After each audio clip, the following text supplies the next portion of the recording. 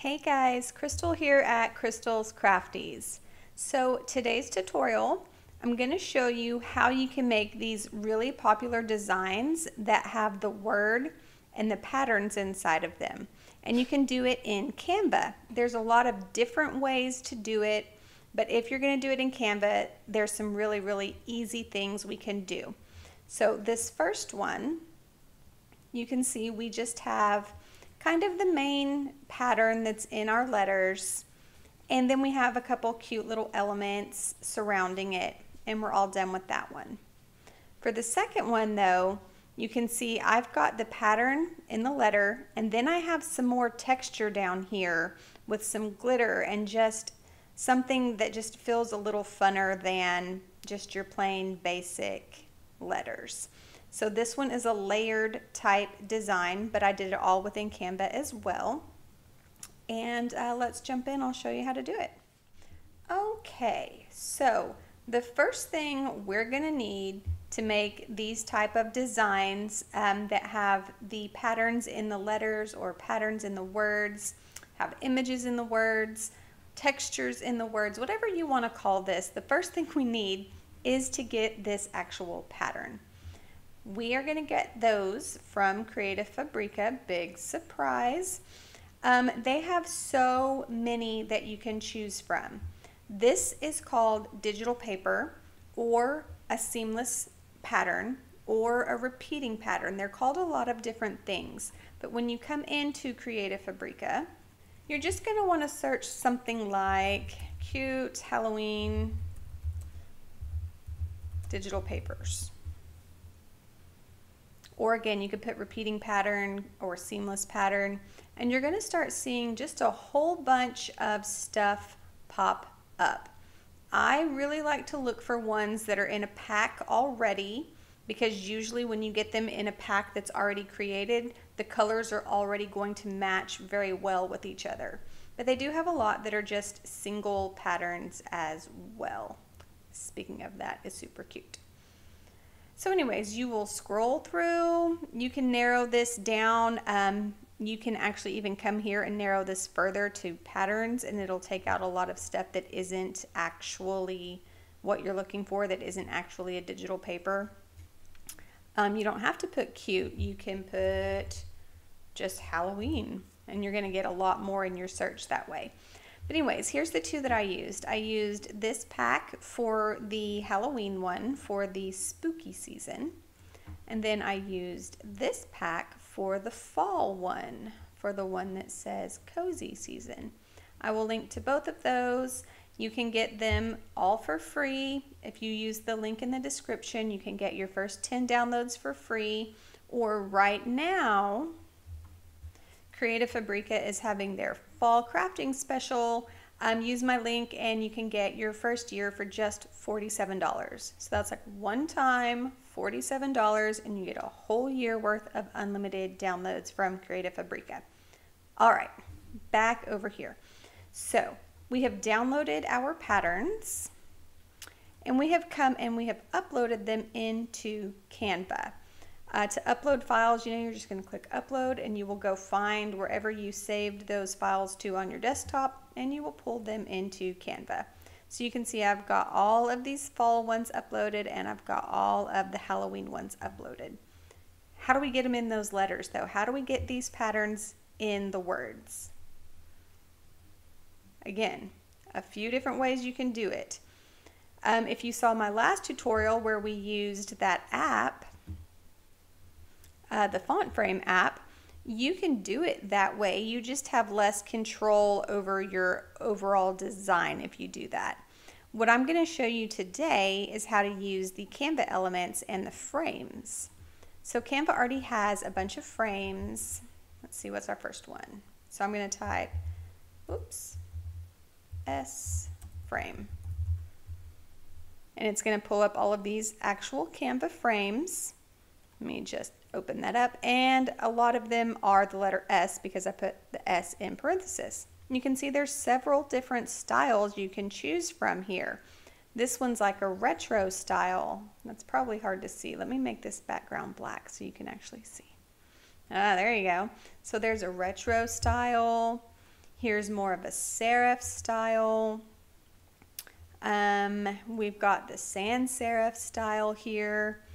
And what did I use? I used the sans serif. Okay, so that's what I'm gonna, uh, let me go for this one maybe.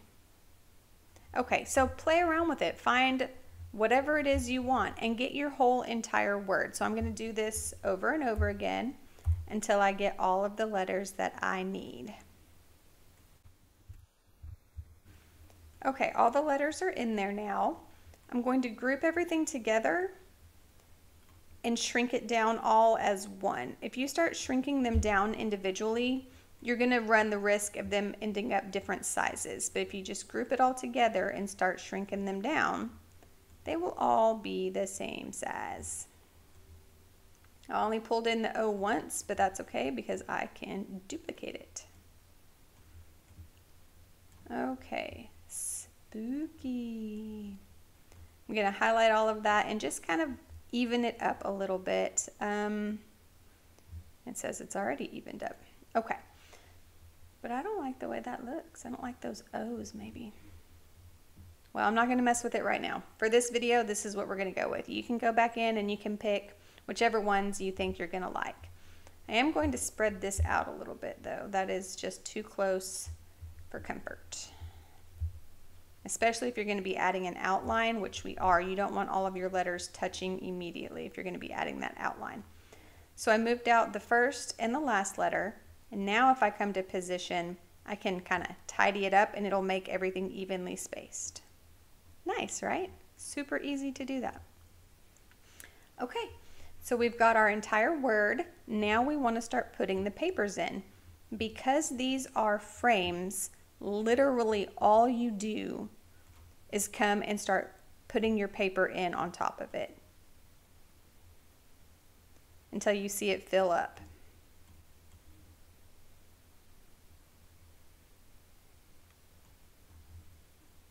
And then we'll do this one, and this one, and that one, and back to the first one. I'm not being super um, specific with this. I'm not making sure each design looks perfect where it is um, because I'm trying to be a little quick for the video. But arrange it how you want. If you do not like where your paper is, you can double click and you can move this paper around. So if I wanted more of that in there, awesome. Same with this one. If I want more of that ghost, and let me blow up my screen so you can actually see what I'm talking about. I'm sorry. If I wanted more of this ghost in my letter, you see I can move this around. And now I'm going to get the ghost, the pumpkin, and the witch hat inside of the O. So you can play around with that and get it looking however you want it. Okay, now that we have our letters filled with the patterns, I'm going to change the screen back to white because you can actually see the letters now. And we're going to add the outline. See how this one had that fun outline around everything? Let's add that in here. So literally I'm going to highlight everything, clicked in the top right and drag a box until I had everything selected. This is where you can add a border. And just like that, we now have a border around each letter. Awesome, awesome, awesome. You can up the weight of that border. You can down the weight of that border. If for some reason you want it to be dashed, you can do that too. Sometimes that's a fun look to go with. I'm going to go back to the single line. So here's our border, single line. You want to take the border away, you just do this little circle with the slash. And I think maybe I'm just going to put it at a 10. 10 is pretty good. Um, if your design or whatever you're adding a border to has rounded corners, you'll want to use this. Do you see what it's doing? Do you see how it's rounding the corners up there? I don't want to do that though. I want them to stay square. But that is an option you have if you're working with something that's a little more rounded. Okay, so that quickly we have got the basics of our design. Now we need just to type in our word. So clicking anywhere on your um, design that doesn't have something on it, click, click on the um, open space of your design, type a T, and type your text. I actually like that. I used that text for this, but I actually think it's working out well with, with this design here too. No, I'm going to go back to what I had. I had, I had used this um, Amethyst text. This is not a text that is in Canva. This is a text that I uploaded into Canva myself. If you have the Canva Pro account, you can come on to your main page and you can come over here into your brands and you can start uploading fonts within your brand kit. These are some fonts that I have uploaded. Where'd they go? So you can see I've got five fonts that I have actually uploaded here into Canva. Again, that is something you can do with Canva Pro. Try it out for free. I have a link in the video description. You can try Canva Pro free for 30 days if you use that link. Oh, you might also notice, guys, uh, this is about to change. Your homepage and editor are getting a glow up.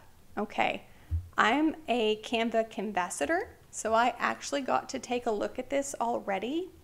It's a lot different. You're to be like, whoa, but don't worry.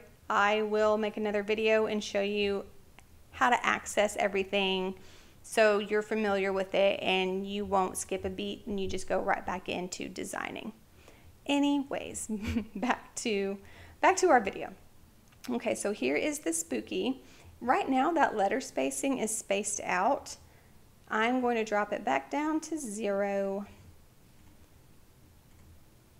and stretch that out. And there we go. We've got the spooky.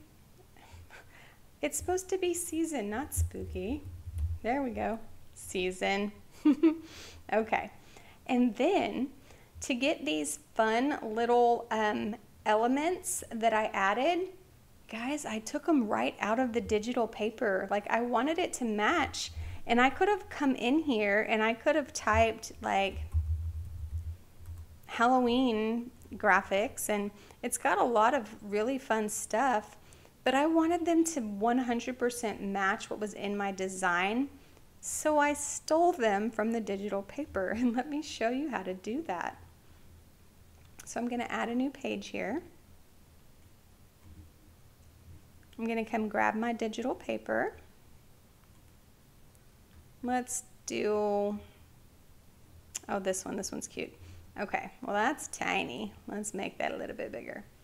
Okay, so I stole this pumpkin and this witch hat and a bat. I think the bat was on a different one. But anyways, to get that done, we're going to use a Canva Pro feature.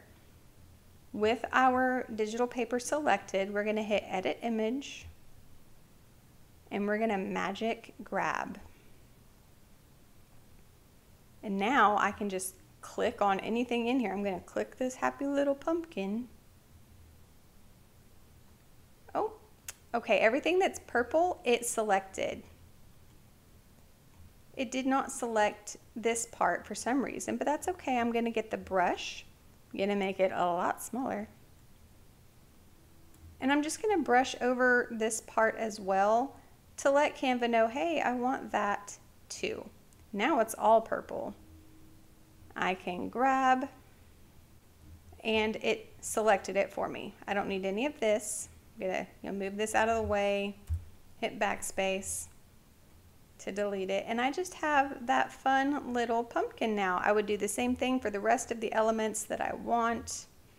And then I can add them into my design and you see how that is shaping up. So that's how you do the basic one. Okay, let's delete this. And let's see how we did this other one that had a little bit more contrast to it.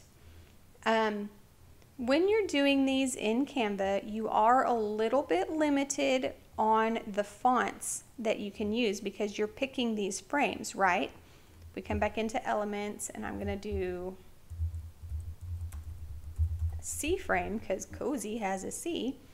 Well, you'll notice there aren't a ton of C's to choose from. There's a, a decent amount, but there's just not a ton of fonts to choose from.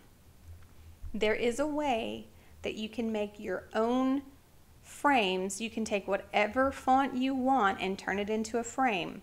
I have another video on how to do it. Um, it does require some downloading and uploading and, you know, jumping around here and there, but you can do it. And once you get your own font in there of whatever you choose, the possibilities really, really are just endless on where you can go from there. But for this tutorial, we're just gonna work with what's already here for us in Canva. So again, you'll just pick your letters. Let me see here. What did I use? Okay, so there's the C. Same like we did last time, get all of your letters. O, Z, and Y. Okay. Once they're all on your design, you're going to highlight all of them. I'm going to make this a little bit smaller so we can see. Drag a box around everything so it's all highlighted. Then we can make it smaller. And again, for visual purposes, I'll turn this black so you can see.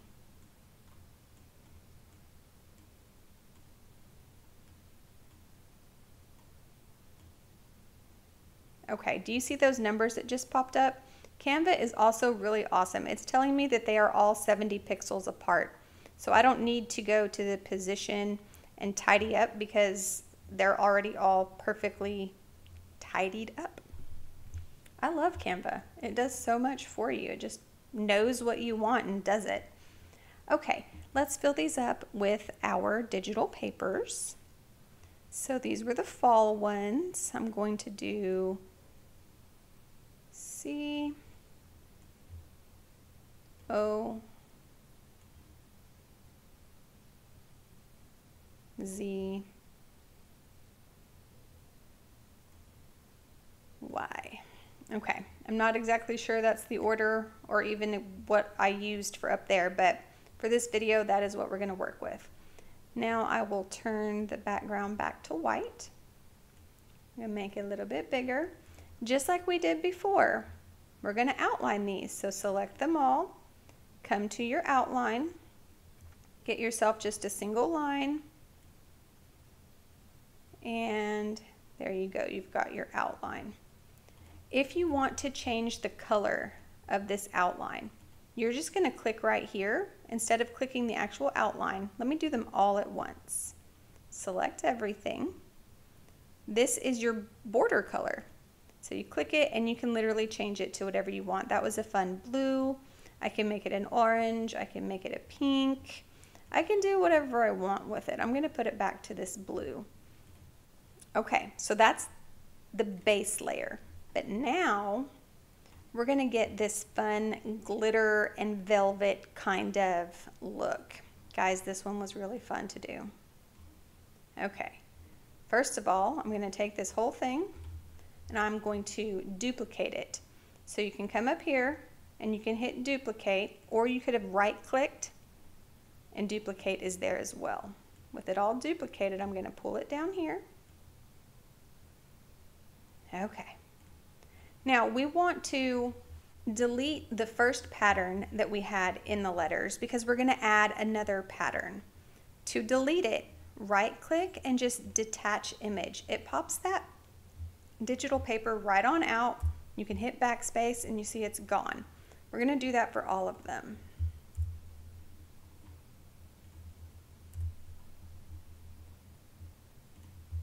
Okay, so now we're starting fresh. We have our base layer. Now we're going to come and get that fun glittery element. To get that, I came back into elements and I typed, I think I typed orange glitter border because that's what's there. And I went to graphics. My dishwasher is letting me know that it's done. um, and I just scrolled until I found something that I liked. Okay, this was in the family of what I was using. So I clicked it and you can see all these magic recommendations down here. If I go to see all, this is what I was using. I used this one, I used this one, I used that one, I believe, maybe this one, I don't know. There's so many. Um, let's just start using them. I'm gonna take that one out And I'm going to start with this orangey one. So I just take it, drag it in, just like that. Oh my gosh. And again, I can double click and I can move this around however I want it to be. If I want more of that glitter, if I want more of the orange, whatever it is I want. Okay, now let's go for this color. Awesome, you can adjust that however you want. Let's do this one. And let's do, oh, this one, I like that. There's the patterns. Now literally we're just gonna select all of these guys and we're going to move them up until they are perfectly aligned. I can't believe how easy this is. Till they are perfectly aligned with the ones on the top. And bazinga, as my child would say, you're done. How easy was that, right? You want to group all of this together though so it doesn't move around. Okay, group. Awesome. Now we just need our word. So again, I'm going to type on just an open area or tap on an open area, type a T and type in the word season. Um, let's see, what color did I have it? I had it like a bluish kind of color. That's probably where it was. And then I gave it an outline that was like a creamy kind of color. Okay, so we're going to if it is not an element, you're not going to have that border selection. You're going to have to come into your text effects. And now we can give it an outline from right here. We're going to change its color. Um, you know what? I'm going to click on this plus right here. It's going to pull up a color menu. I'm going to take the pencil and just kind of click in here to that creamy color and then maybe drag down a little bit. Let's try that. That's too yellow. Well, play with it, get whatever you want, and then you can increase or decrease the thickness from here. Okay, and also this lettering, I had spaced it out. You see it's got that letter spacing of 178. You can increase it, decrease it, however you want it to look. All right that's really all there is to it, guys. It's super, super easy. So hop in there, start creating, and uh, show me what you've made. We'll see you next time.